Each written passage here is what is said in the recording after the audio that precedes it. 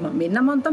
Mä toimin Rekkureskuessa koiriin kotihoitovastaavana ja vastaan kaikista näistä kodinvaihtajakoirista Suomen puolelta. Ja tässä mulla on tämä meidän Rampo, joka on tullut meille Vorun, Vorun tarhalta Virosta vuonna 2015. Siis mä olen tullut tähän toimintaan mukaan vuonna 2005 joulukuussa, on ollut jo kohta 14 vuotta mukana. Aloitin koirien kotihoitajana ja nyt sitten on ollut tässä monta vuotta jo toiminnassa mukana.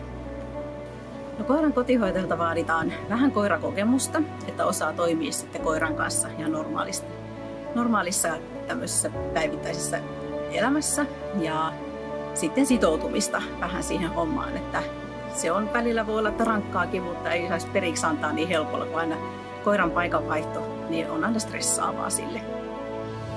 Yhdistyksen kotia etsivät koirat on tällä, tänä päivänä pääsääntöisesti suomalaisia kodinvaihtajia, jotka on tulleet meille omistajan luopumana.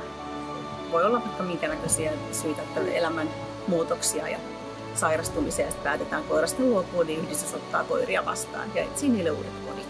Eli koira kun tulee sijaiskotiin, niin yhdistys huolehtii sen eläinlääkärikustannuksista ja sitten ruokakustannuksista ja on tukemassa koko ajan, ketään ei jätetä yksin.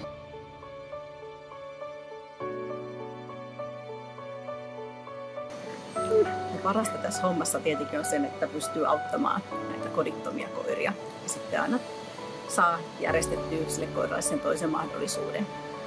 Että ei tarvitse ihan turhaa tervettä koiraa opettaa.